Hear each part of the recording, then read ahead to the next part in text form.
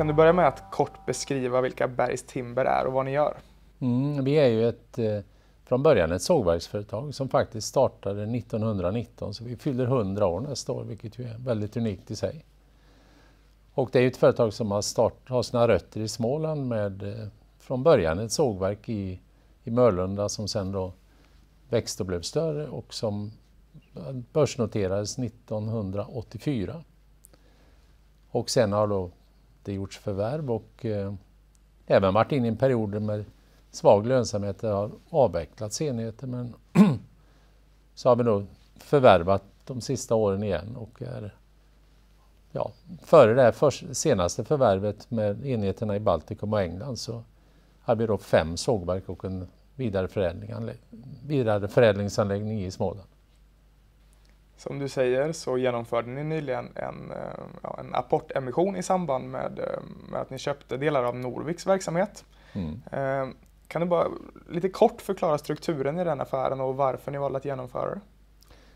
Ja, vi har ju lärt att känna Norvik genom att vi köpte en, ett sågverk för två år sedan som ligger i Broakulla som då Norvik också ägde. Och där kom ju Norvik in i Bergs med stort ägande, 30 procent nästan. Och sen har vi då lärt att känna varandra och eh, ja, sett att det fungerar med då Norvik som ägare. Och sen har vi då, vet vi ju naturligtvis om att Norvik har ägt de här anläggningarna i Baltikum och eh, då var det ju naturligt i och med att Bergs vill, vill växa och eh, har tittat på olika förvärvsmöjligheter så vart det ju till slut då naturligt att vi tog en riktig diskussion och då genomfördes den här affären och den är ju gjord dels med en, en riktad nyemission av aktier och dels en kontantdel. Och med den här nyemissionsdelen så når ju Norvik nästan 65 procents ägande i Bergs. Samtidigt som vi då har en utbetalning av 270 miljoner kronor till Norvik som sker under tre år. Den första delen gjorde vi vid förvärvet med 100 miljoner och sen har vi 100 miljoner 2019 och 70 miljoner 2020. Ni köper Norvik som är ett betydligt större bolag än mm. Eh, Bergs. Vad ser ni för fördelar men även risker med det? Ja, fördelarna är ju att vi kommer ut, vi får en, alltså en betydligt större bas att stå på. Vi får en rejäl expansion vilket vi tror är bra för Berg, som, inte minst som noterar bolag, men även ut på marknaden. Och sen får vi en större riskspridning. Det är en produktion i euro, det är betydande vidareförädling. Sen risken med det, det är, det är klart det finns ju risker med allt och det är ju att, att det kanske är ett väldigt stort steg att ta igen på en gång. Då. Men samtidigt så driv, har vi tänkt att driva det decentraliserat. Naturligtvis med konsolidering och kontroll men ett decentraliserat beslutsfattande och ansvar och det gör det ju lättare att göra ett sånt här förvärv. På, på er hemmamarknad i Götaland och Småland så har sågverksindustrin de senaste åren genomgått en konsolidering. Hur är marknadsläget eh, där idag? Ja, det, det, har den här konsolideringen som har skett i, i vårt svenska område har börjat faktiskt ge riktigt bra effekter. Att, eh, det har ju både varit att man har, vi har vuxit och det finns andra som har vuxit. Och det har ju även lagts ner en hel del sågverk. Och det gör ju att det blir en stabilare... Råvaran har, har ju väldigt stor betydelse för vår lönsamhet och det är klart om råvarupriset rör sig stabilare i relation till marknadspriset på våra slutprodukter så blir ju lönsamheten också möjlig att uppnå.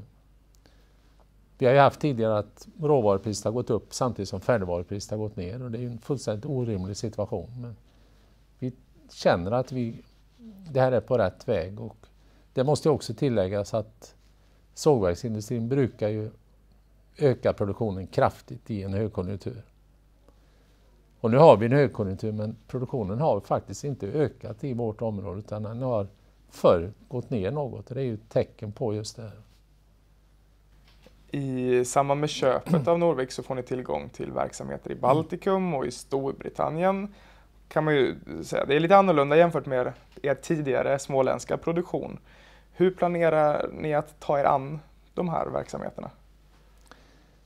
Ja, för det första har vi ju naturligtvis varit runt och hälsat på och lärt oss enheterna vad de, vad de kan, vad de är bra på, vad de kanske är mindre bra på. Vi, och sen kommer vi nu att ha en, en stor gemensamt möte i nästa vecka där ledningarna för respektive bolag träffas och utbyter erfarenheter och diskuterar möjliga sam, samverkansområden framåt, och synergier framåt. Och, eh, det är precis så här vi har tänkt att leda det här genom att det ska växa fram synergier och sam samverkan.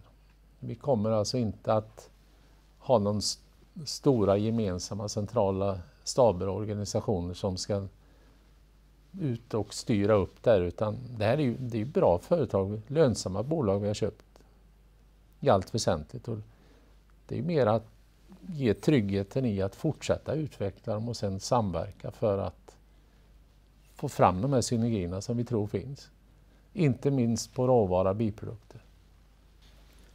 Ni som bolag påverkas ju självklart av den globala trämarknadskonjunkturen. Mm. Vad är er samlade bild av läget där just nu?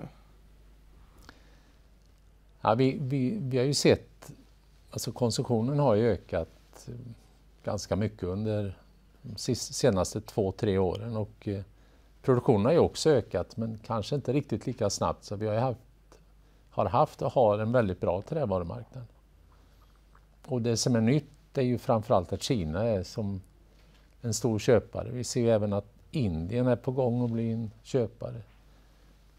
Det finns andra länder också, framförallt i Asien, där vi ser en ökad efterfrågan. Och det finns inte, egentligen inte några stora möjliga produktionsökningsområden om man tittar på råvarubasen. Utan det med, Ryssland har ökat en del, det finns en del i USA, US South, där man skulle kunna öka något. Men i övrigt så är råvaran väldigt mycket, alltså den är upptagen.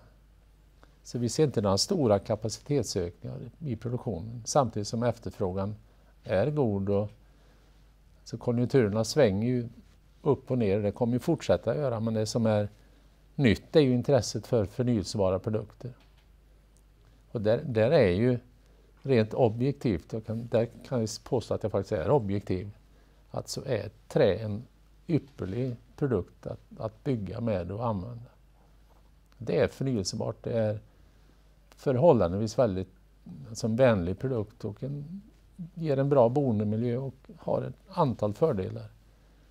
Och det gör ju att vi blir ännu mera optimister när vi ser på framtiden, även om vi vet att konjunkturen svänger. Och där ska jag tillägga också att trä har ju inte ökat alls så mycket i pris som konkurrerande produkter om man tar betong, stål, aluminium, vilket ju är verkligen våra konkurrerande produkter. Har inte alls, har inte trä alls haft en samma utveckling i pris. Så vi har en del att ta ifatt där och det, det är kanske det vi är på väg att göra nu. Sista frågan då. Ni har inlett 2018 starkt, ni har ökat omsättning, resultat, lönsamhet. Är det här något vi ska förvänta oss framöver eller hur, vad, vad kan vi förvänta oss? Så det, det, just nu är det ju ganska svårt att